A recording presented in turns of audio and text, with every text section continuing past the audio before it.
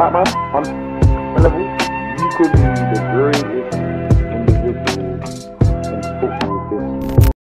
We are back with another video, and this should be very interesting. Top 10 right backs in the Premier League. Ty is crying right now because we recorded half of it and he messed up. he included nine players and he realized so late. So we're recording this again because we're committed to you guys. But before we get started, make sure you guys like the video, comment your thoughts, make your top 10 in the comments, subscribe yeah. to the channel, subscribe to Never A Foul Trafford Tunnel. Listen, Ty, how you doing? I'm good, man. I can't believe that's the first in my whole years of streaming. I've never done it in my life. I can't believe it. You know what? I'm gonna blame this on.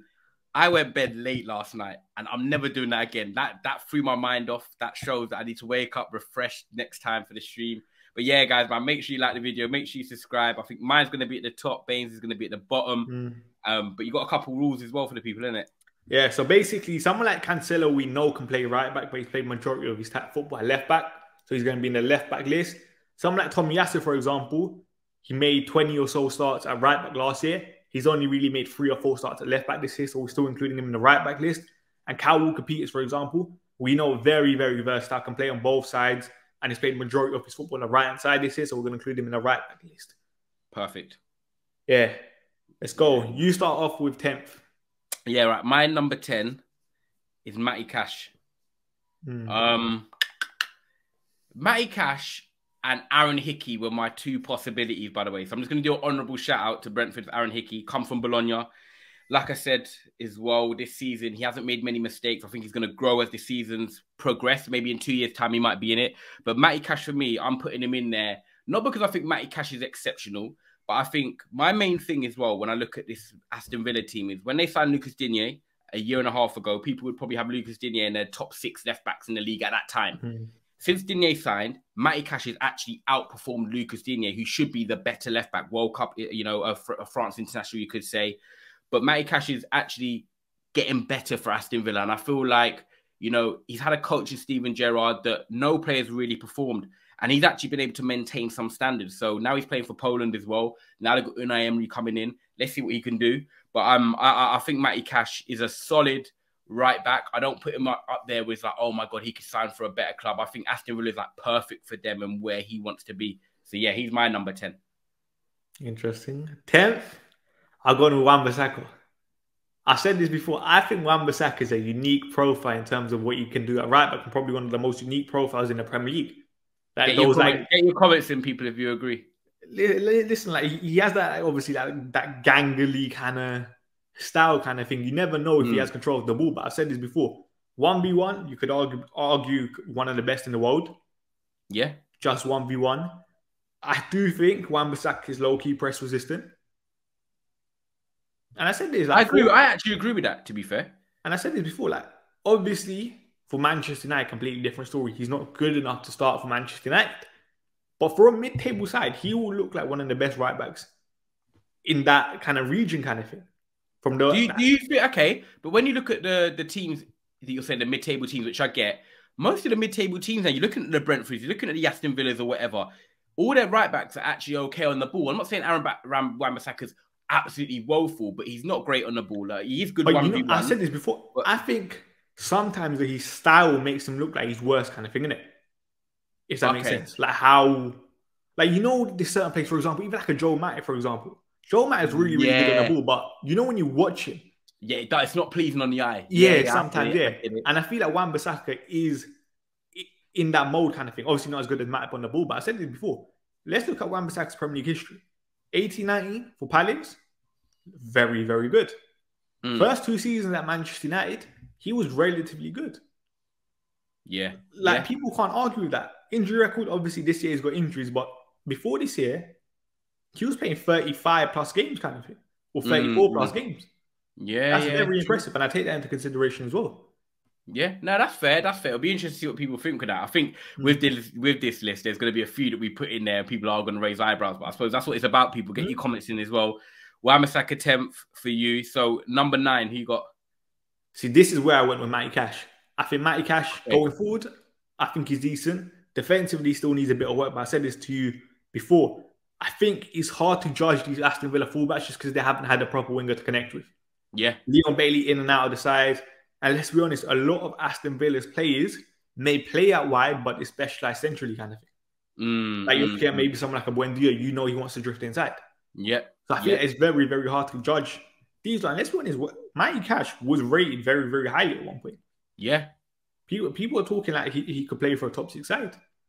Yeah. So I do yeah. think he deserves some flowers, but listen, man, Steven Gerrard over the last what year, I don't think any Villa players really been helped. If that makes sense. No, I don't. Even someone like Ezri Konsa randomly, like he was a very good centre back Mhm. who I think had potential, and he seems to hit a, like a plateau. So Yeah, that is going to be so interesting to see what Unai Emery does. Even Danny Ings, can he get him back scoring goals? Do you know what I mean? My number nine, I've gone with Tomiyasu. So funny enough, obviously you mentioned him at the start. Um, I've gone with him as ninth because I just feel like, in terms of how do I put it? In terms of utility players, so say Arsenal, right? They're going for the domestic cups. They want to go to the Europa League. They want to try and get as high as they can in the Premier League.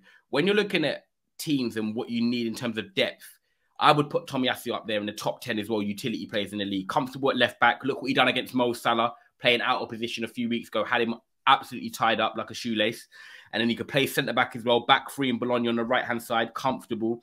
And then as a right back as well, for Arsenal, he's been comfortable. He's very good in the air. He's physical. He is mobile as well. And he's strong. And I think sometimes with players like that, where you're you're sort of getting mished and mashed around and you're not getting a consistent run, it's quite hard to maintain the levels of the rest of the team. But I feel like every time he comes in, he's just a solid player. And I think he gives you seven out of 10. I call it like he's like beans and toast. It's a safe meal. Everyone likes it. Um, but I, I like Tomiyasu. I don't think he's the right back that would be like, oh my God, he's going to take Arsenal to the next level. But in terms of right backs this year and what we what, what I'm going to talk about, I think he's a, I think he's a solid player, man. And obviously he's just not getting in right now because you've got the form of Ben White, who's only just started playing right back really properly this season. Mm. So yeah, I, I- think Tomiyasu's um, a good player, man. who have you got eighth? Ben White. Go on.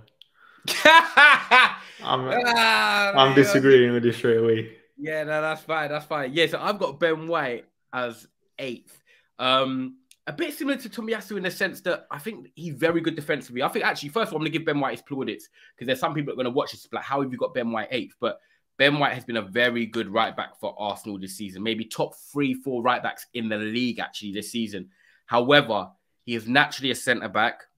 I feel like with Arsenal and what he does, is that he's there, but he also helps the other team rather than excelling, excelling himself. Because I don't think Ben White's the best at going forward.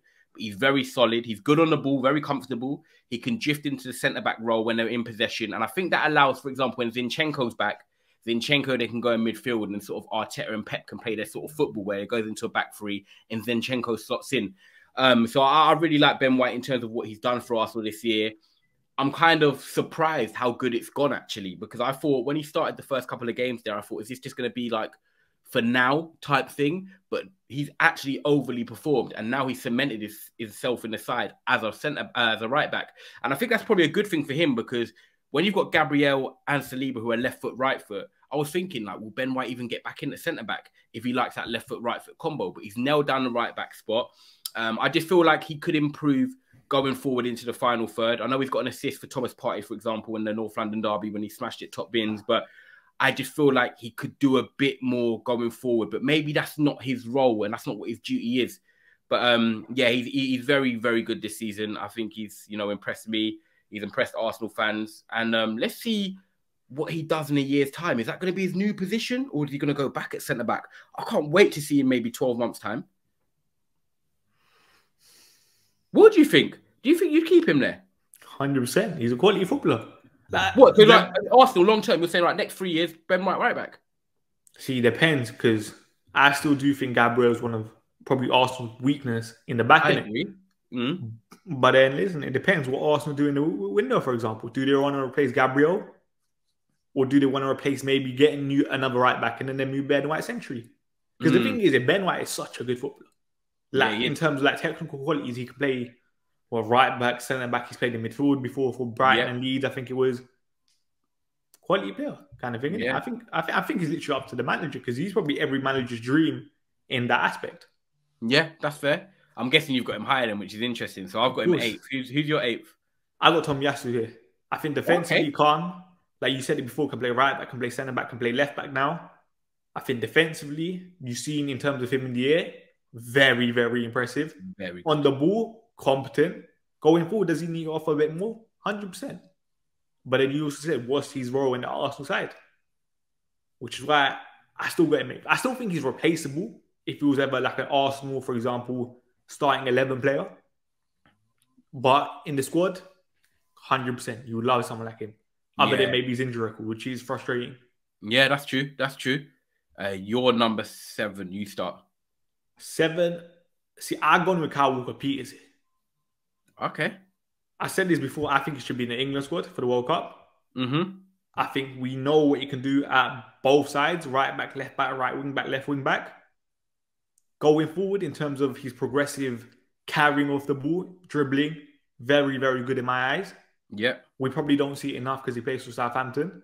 Mm-hmm. And you even saw it at Tottenham. He showed glimpses of, yo, I'm a competent fullback kind of thing. Like you saw when Yeah. he got a hat trick of assists against Bournemouth. Yeah. Yeah. Very, very impressive. And like, he- it's just one of them ones. He's unlucky that he plays for Southampton.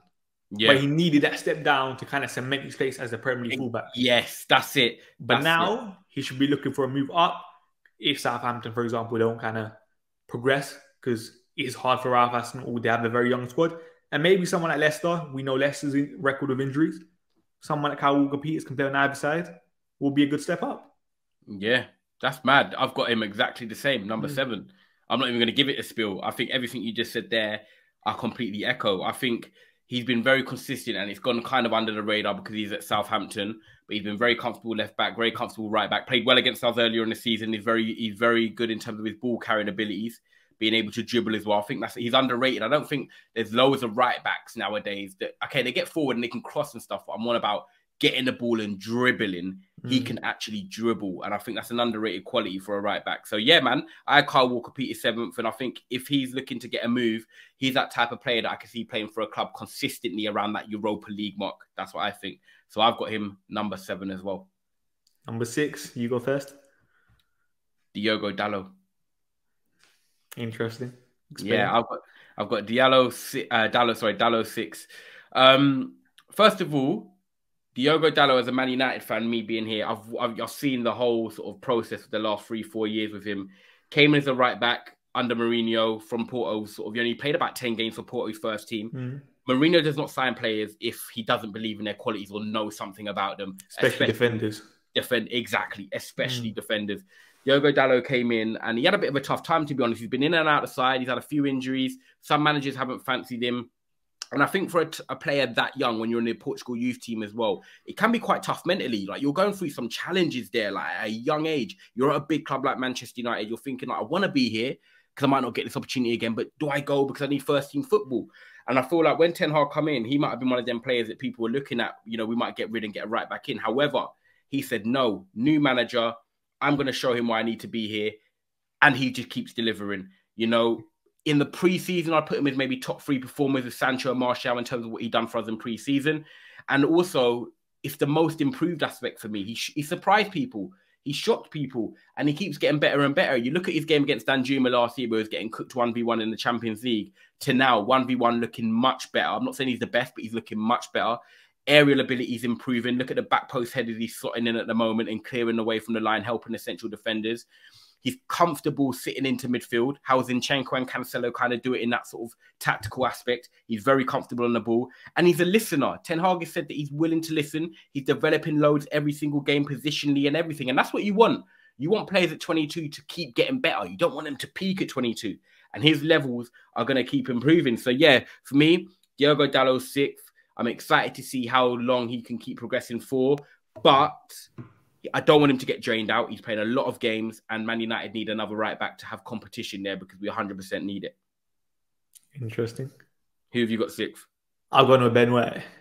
You got Ben White sixth? Yeah, like. I, I have been very, very impressed with Ben White this year. I've said, I think I made a TikTok the other day. He's been top two right backs in the Premier League for me this year. Who's the other one? Trippier. Yeah, fair, fair, fair. When I look at Ben White defensively, we know his abilities. In possession, quality, very, very good footballer. mm-hmm, Going forward, I've been surprised how well he's linked up with Bukayo Saka down the right hand side in mm-hmm. terms of at times overlapping, at times underlapping. Like, what's the weakness in his game? the final third aspect. which will develop because considering where he's played majority of his football, centre back, holding midfield. And I, I don't want to be lazy here, but aerially, he's not been tested as much. But when he was tested at centre back, he wasn't the best in the air. However, as right back, he's not really been tested in that area as much. And let's be honest, fullbacks do they have to be as good as in the air as a Nah. centre back? No, you don't. You don't. You don't. You don't. Which is why, like, listen, man, full credit to Ben White, full credit to Arteta for moving to right back. Mm, I thought, like, listen, he's claimed these plays. yeah. He yeah. has to be signed for England somehow, some way for me. That's how good he is. Ooh. See, I would have Trippier and Luke Shaw at the moment. But listen, you can play Ben White centre back in the back three if England go down that route. Yeah, if they go down that route, brilliant. No matter what, for me, Ben. White has to be starting. Yeah, Yeah. yeah, If you go to back three, yeah, I'm happy to have him right centre back. Definitely, no doubt. I think he deserves full credit, kind of thing, innit? Yeah, yeah, yeah, yeah. I'm with that. I'm with Number that. five is Mina.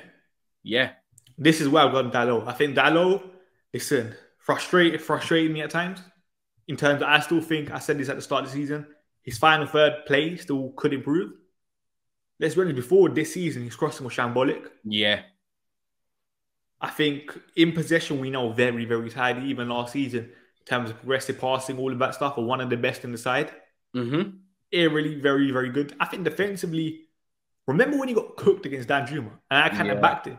yeah, And I was like, he, was doing a different role in terms yeah. Because I remember you and Biz, you and Biz Yeah. arguing. Yeah, like I remember I kind of backed him during that time just because I thought it was a difficult job in terms of that was the first time we we really yeah. And, we, and you know what? The wing backs and uh, the, the wingers weren't helping at all. yeah. So I thought that was Yeah. like don't get me wrong, he got cooked. It was bad, but I don't Mm. think he was solely to blame. And I'm just think defensively now we've got a better defensive unit who's really cooked it.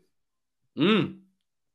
Has there been moments maybe he could do better on the ball at times this year? Yeah, but then you said it as well. He's played a lot of football. A lot. Of he hasn't been rested at all. Like we haven't really he even had like, for example, Wan-Bissaka has been injured. Ten Hag hasn't really played Lindelof for yeah, right back one or two games. out on loan. yeah. and I think he deserves immense credit. And I, I, I think defensively, by the way, in the air, I think he's probably the best right back in the league. Yeah, he he's his back post headers against West Ham. Even Gary Neville Mm. was there, who the right back was just saying it's This you don't understand how hard it is because you're Yeah. doing three things at once. You're watching the ball, trying to position yourself, trying to watch the Mm. player, and then get contact. It- it's incredible, really. Like, And especially because let's be honest, you know how strikers are. They're going to kind of peel off the fullback. yeah, lean on you and stuff Yeah. as well.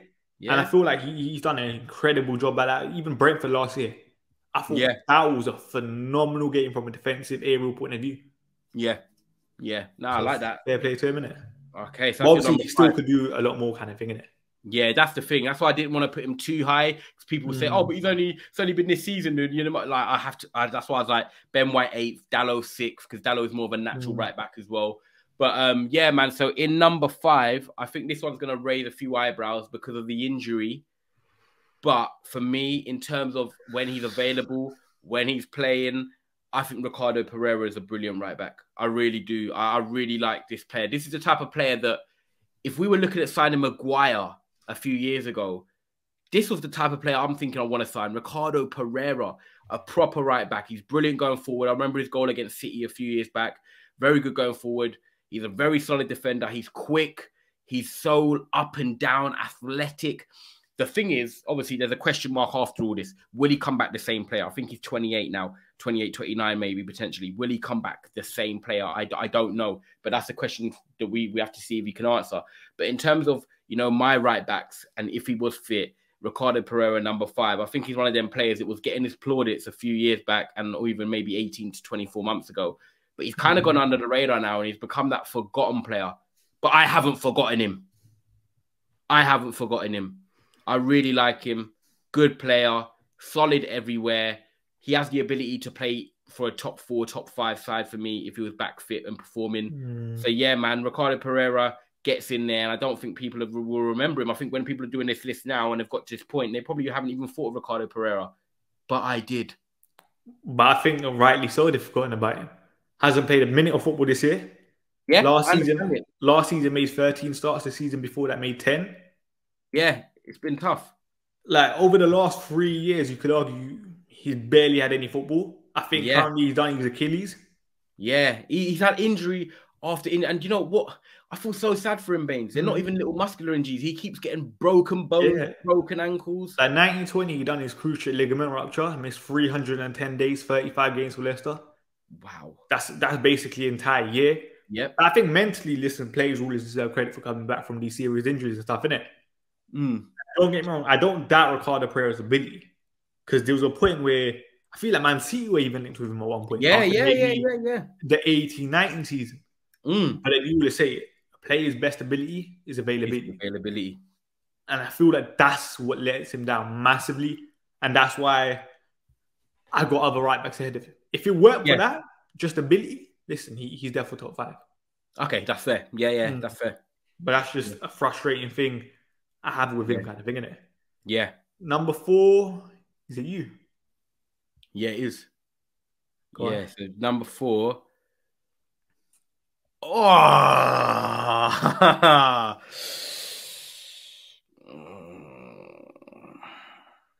Trippier.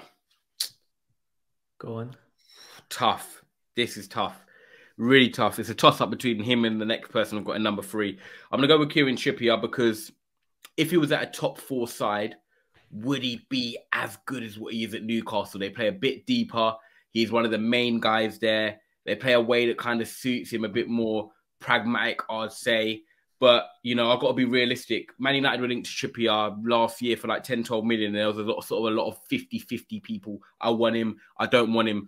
I remember his time at Atletico. He was okay towards the end, but everyone, it kind of felt to me that like he was coming towards a, not an end, but he was kind of heading that way. Would go Atletico, then he would go Oh, man, I thought he was one of the best right backs in the world at Atletico. RCC. I, as towards the end, I thought, you know, he's a good player still, very solid, but Mm. would he go to a top four club? Like, can he go from Burnley to Atletico a bit, like, which is still up, but uh, up again at 31 or whatever he is? Was that Tottenham, though, you forget? uh, yeah, like yeah, Tottenham, Tottenham, yeah, uh, Tottenham as well. Sorry, yeah. So Tottenham, Atletico, that type of level. That's what I was like. Yeah, do you know what? I like him there. I like it. And he's Mhm. gone to Newcastle and he's excelling. Great final ball delivery. Good leader as well. He's become captain in some games. Great leadership. Um, he's not really put a foot wrong this year for Eddie Howe. He seems to get everything clicking. He's not been injury prone at all. You know, you think he had like a couple of games where he missed, but other than that, he's been very solid. So I think Trippier, comfortable left back, right back, great final ball, set piece taker as well. Um, he's got to be in the top four for me. And I think I agree with you. In terms of what you said about right backs this season, he is in the top two with probably Ben White and then Dalot third. I'd probably say that's the Mm. top three. No joke, man. I know Reece James obviously is a great player, but he's been injured at the moment.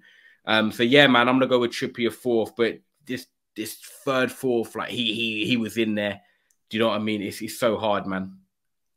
I got him fourth as well. Listen, I Okay. think, I, I think he deserves I thought you were gonna have flowers. me third, you know. Nah, I got him fourth. I think he deserves immense flowers, by the way. Like, Yeah, you said man. it. Atletico for me was one of the best right backs in the world. Newcastle, listen, he had that little injury last year. This season, he's played every single minute, or he's played every single game, kind of thing, innit? Mm-hmm. We know what he can do from set pieces as well. Brilliant set piece taker. England free kick, Croatia, everyone remembers that. Yeah. I just think overall, like, he, he's a competent fullback. Even at Tottenham, people forget he was the one that replaced Kyle Walker. Do you regret not si- us signing him now? I said I wanted him though. Okay, fair. For for, for Yeah. ten million pounds. I think I still think he's better than Dalot, for example. Yeah, yeah. I I, know know, Mark I, I, hold disagrees with hands that. up. I was 50-50 with it, but I think we could have just grabbed him for three years, man. I think I think it depended depended on the price. If you're talking ten to fifteen, you can't complain with that. How much did they get him for Newcastle in the end? I can't even remember. Yeah. I'm not too uh, sure, but listen, for ten to fifteen, which is what I think we were linked with, I think that's a calm buy. 12 million. Listen, man, twelve million for Kieran Trippier. Mm. But I think remember for Atletico, he had that ban as well. Yeah, yeah, yeah, yeah, yeah, yeah. Gambling, yeah, I think it was or something in it. yeah, yeah. So maybe Atletico might have wanted to get rid of him for a bit cheaper or something. Not too Yeah, sure. true. But you never know, kind of thing. But listen, Probably, probably would have been double the price if we came in. listen. No matter what he deserves, immense credit should be on the plane to the World Cup Yeah. comfortably. yeah. Third is me in it. Mm. I got Kyle Walker. Same. I think if we're talking, like, he probably goes down as one of the best right backs in the Premier League Yeah. ever. Do you know what? It's mad when you actually look at it. Yeah, I was chatting to maybe Daps about it. In terms of right backs, when you look at Man City, Zabaleta, and then into Mm. Walker, for the last probably nearly 15 years, they've actually had two of the best right backs ever in the Premier League. Mm. And you Crazy. look at Kyle Walker, for example. Everyone knows about his pace, but then also the way he settled in in terms of. Don't get me wrong, he's probably arguably one of the weakest in terms of technical abilities in that Man City squad. But you wouldn't necessarily look at Kyle Walker and say you look out of place. Yeah, yeah. Like yeah, you can yeah, compete with them, kind of thing, innit? And I think, listen, going forward, we know what you can offer. Defensively, we know what you can offer. A back three at centre back as well. What's it not like?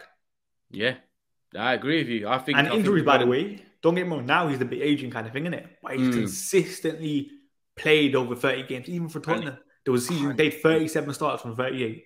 Yeah, that's incredible. And his recovery pace is absolutely mm. mad. I'm hoping that he can still get one good year out of himself before the injuries really take his toll. Because the thing is, obviously, when you're such a quick player and you mainly rely on pace as your attribute, mm. once you start getting injuries, obviously your pace naturally lessens because obviously your muscles get worse and, and you do naturally age, not playing as consistently. So hopefully he can still give City another year in terms of obviously playing at the highest level. But yeah, Carl Walker, man, he's another one that kind of deserves his flowers. I think when he retires, and people talk about right backs in like 15, 20 years' time, people need to remember him because I think he could easily slip under the radar, man. But um, yeah, I've got him third as well. And my number two, because this is the one where let's, let, us do it together, kind of thing, it? In terms of everyone knows number two is Reece James slash Trent. Yep. So let, let, let's debate this because yeah, who have you got second? So second, I've gone with Trent, and first, I've got Reece James.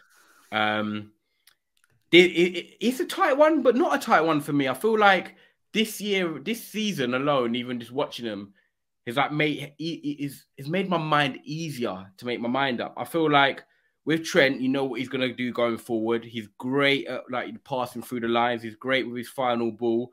But Reece James also playing as a wing back, I get it. So he has more license to get into the final third. We have got to take that into account. Formations 4 4 and whatever 3 3 4 and stuff like that. Um, but I, I, I think Reece James has got a very good final ball as well. He can strike a ball great as well when he gets into them final third positions. But for me, obviously, defensively, I just feel like he's much more solid than what, what Trent Alexander Arnold is. I'm not saying that Trent Alexander Arnold is the worst defender. He maybe doesn't get as much help from Mo Salah as he has or should have over the years. Mo Salah seems to be maturing in that side, though. I see him tracking back more and more as he's getting older. And I feel that is to help Trent out because Trent helps him out going forward. So it should be the same going back. But for me, I just feel like if I'm picking my team and you said to me, right, you could pick a draft team and you have a back four and you could pick Trent or James, I- am going with Reece James. I just feel like he's more solid overall as the profile as a as a right back. I think that's what it is. It's like that. I look at like if you've got a moon, if the moon's out at night and it looks nice and it's pretty as a half moon, you're like, oh, that's a nice moon tonight. But when you walk out your yard and you see that full moon shining, Bains, you're like, wow, that moon's like Reece James is the full moon for me in terms of right back, in terms okay. of Trent, and Trent is the half moon. But do you think, hand on heart, Reece James has been better than Trent over the last three to four years? Because for me, the answer is no. You Not over the last three to profile, four years, but yeah. you could argue profile. Therefore, Reece James is the more complete footballer. Yeah, but I think in terms of what we've actually seen, in terms of let's be honest, Reece James does pick up a lot of injuries. Injured yeah. again right now uh, when yeah. we're recording this. That's a massive part for me. Trent, let's be honest, this season hasn't been great. But over the last three to four years, you could argue he's transformed the right right back position completely. Like he, for me, I hate using that word, but I think he's a generational footballer because he transformed that position. Yeah, I get it. I get it. And I understand kind of your logic in terms of the generational side. I think mm. he does have have something different to what uh, a Reece James has because Reece James, you look at him as like more of like a right back who could slot into football back in the early 2000s because mm. the way he is, whereas Trent is more like the modern, modern type of type of right back. But if you're asking me to judge my top 10 of what I like in a player and who I think I'd want, that's why I go Reece James. I'm not even discrediting Trent because I think Trent is a very good player, but I just feel like no, I would want Reece James in my team. I think if I had to pick one out of the three, obviously Cancelo is number one for me, then Reece James mm. second, and I actually have Trent third. But the, the thing is with Trent is like he's hit these heights now, right? How much better can he get? Whereas with Reece James, I feel like if he can try and get over these injury problems and he can come, he's still young as well, but I think he's 22. Mm. If Reece James can keep developing, like how good can he still get like? I don't know. When I look at him right now, have not saying Trent has hit his ceiling, but has Trent got loads of levels he can still go up? Or has Reece James got the more levels? I feel like Reece James has got more room to still improve, whereas I feel like Trent, while he's young, is going to be the best version of himself while he's still young. I think when he gets to like 28, 29, 30, I don't know if he's still going to be as effective as he is now. Whereas I think Reece James, even when he's 27, 28, he's going to be strong, powerful. See, I don't know, because I don't think Trent relies on his physical attributes at all. Mm. Like Trent is literally technical ability kind of thing down to a T, in it. Yeah. Crossing from the passing, incredible passing range, by the way. Yeah. Which is why like, But does he even but does he but does he stay at right back? Like is he gonna be that Yes. player who goes back into midfield? I hope not. And I made a video this, on this the other day. Trent is the best right back in the world over the last three to four years, or Mm. top three, let's say, argument's sake. Yeah. Why do people want to move him away from that position when he specialized it? He could retire as, for me, the best right back the Premier League's ever seen. Because you could argue he's already top 10 or higher Mm. at this current stage if he retired today. Mm. what? In the Premier League over the last three to four years, he's got like over 40 assists from right back. Yeah. That's unheard of. Mm. I, Mm. I've gone with Trent first, personally, kind of thing, innit? I was gonna say is Trent your number one? I've gone with Trent first, Reece James second. I think Reece James is the better footballer. And I think he probably will be the better right back. But as I said, hand on heart, you cannot tell me I don't think Reece James has been better than Trent over the last three to four years. Yeah, I'd agree with that. I do agree with that. But then I think as an overall right back and what I want in consistency, I feel like I'll Mm. get that more out of James than I would Trent. It's such a good debate. The thing is, I said this one or two Mm. years' time, I think he'll definitely be Trent. Uh, sorry, Reece James, sorry. Yeah. If obviously he stays injury free. But Mm. at this current stage, 5th of November, the time we're recording this, 1256, it has to be Trent for me. And I said this like surely as he develops or gets older, his defensive game should improve as well. Because I know a lot of people might disagree, but I think his defensive game has improved. Mm. And I said this before. Remember Trent around what was it? Uh, the 20, 2021 season when Liverpool had loads of injuries at uh, centre back. Okay, when it just got fourth, yeah? Mm, and remember Trent got destroyed by was it Asensio? Asensio or. Vinicius, one of them in the Champions League. Might have been Vinicius. I can't remember, but no. But when I think Toni Kroos made Yeah. a pass off Trent kind of thing, innit? Okay, okay. From that point, I, I during that Oh period, I was wait, like- wait. You're not on about the Champions League? Nah, it's not Champions League final. no, not last year, the year before that.